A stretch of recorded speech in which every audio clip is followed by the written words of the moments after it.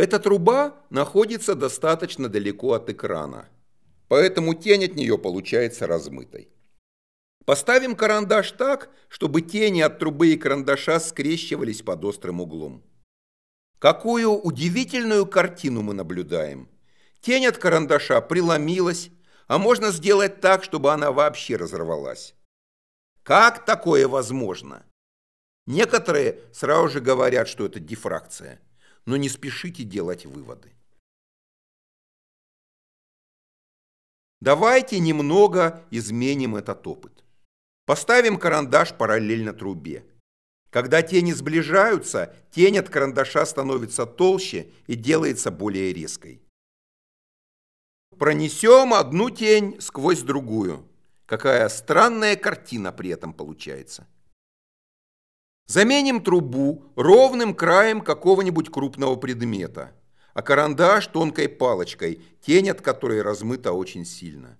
Но смотрите, какой четкой она становится, когда мы приближаем ее к границе света и тени.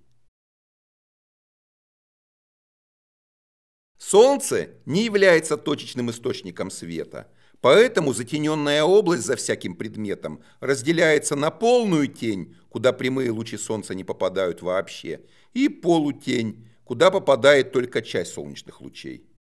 Наша палочка тонкая, а расстояние от нее до экрана большое, поэтому область тени от палочки не достает до экрана.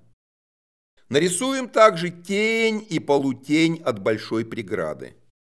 Заметим, что из области тени солнечный диск не виден вообще, а из области полутени видна только часть солнечного диска. Когда мы вносим палочку в полутень, нижняя часть солнечных лучей на нее уже не попадает. Поэтому область тени за палочкой становится длиннее и дотягивается до экрана, а область полутени становится уже. Вот изображение палочки и делается более четким. Аналогичные эффекты можно наблюдать с двумя палочками, поднесенными близко к глазу. Чтобы вы тоже смогли их увидеть, мы посмотрим на палочки через расфокусированный фотоаппарат. Вот эффект со скрещенными палочками. Кажется, что острый угол между ними чем-то заполнен. Отодвинув одну из палочек подальше, мы можем наблюдать преломление, как в нашем опыте с тенями. А этот опыт вы можете сделать прямо сейчас. Поднесите большой и указательный пальцы близко к глазу и начните их сближать. Перед тем, как пальцы соприкоснутся, между ними появляется темная перемычка. Видите? Вот мы и научились управлять своим биополем. А если без шуток, попробуйте объяснить этот оптический эффект самостоятельно.